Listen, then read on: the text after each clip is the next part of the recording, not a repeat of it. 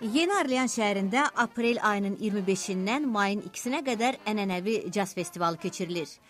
Yeni Orleanda caz festivalının bir ənənəsi həyatdan getmiş musiqiçilərin xatirəsini anmaqdır. Caz musiqisi tarixində mühüm rol olmuş musiqiçilərin xatirə parkı müqəddəs yer hesab edilir. Həyatda olan musiqiçilər üçünsə Yeni Orlean Caz Festivalına dəvət olunmaq ən böyük şərəfdir. It's like my favorite festival. Bəstəkar David Egan deyir ki, bu onun ən sevimli festivalıdır. Festivalın davam etdiyi 7 gün ərzində caz musiqiçiləri və kökləri cazdan gələn başqa janrları təmsil edən musiqiçilər məharətlərini göstərir.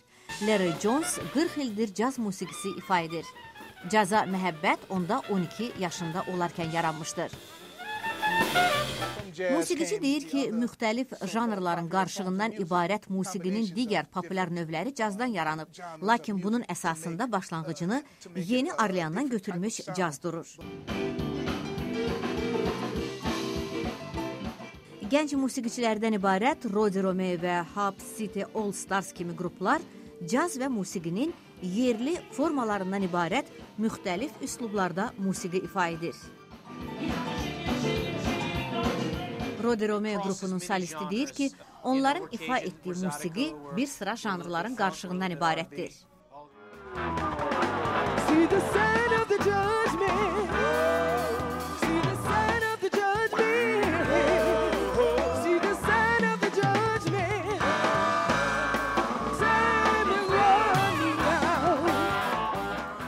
Orleanda 1970-ci ildə ilk caz festivalında cəmi 350 caz həvəskarı iştirak etmişdi.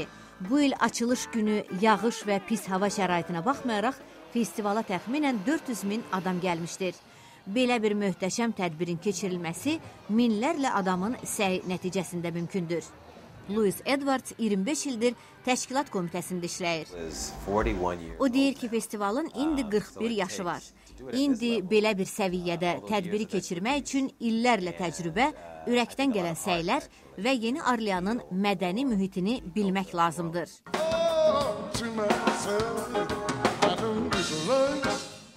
Yeni Orlean festival keçirmək üçün ideal bir yer hesab edilir. Musiqiçi Joe Crown deyir ki, şəhər musiqi ilə nəfəs alır. Everybody wants music for everything.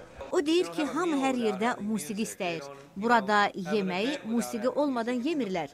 Onlar musiqi olmadan bir tədbiri də təsəvvürlərinə gətirmirlər, deyə o sözünü bitirir. Yeni Orlean dünyanın hər yerindən musiqiçiləri özünə cəlb edir. Katya Tayvola 15 il bundan əvvəl caz festivalına Finlandiyadan gəlmişdir. O vaxtdan o Yeni Orleana valeh olmuşdur. 10 ildir ki, o burada yaşayır. Musiqiçi deyir ki, Yeni Orlean caz ifa etmək üçün ən yaxşı yerdir. Yeni Orlean Caz Festivalı dünyada nə ən böyük, nə də ən çox yaşı olan bir festivaldır. Amma necə olursa olsun, bu cazın beşiyi hesab edilən bir şəhərdə keçirildiyi üçün unikal bir festivaldır.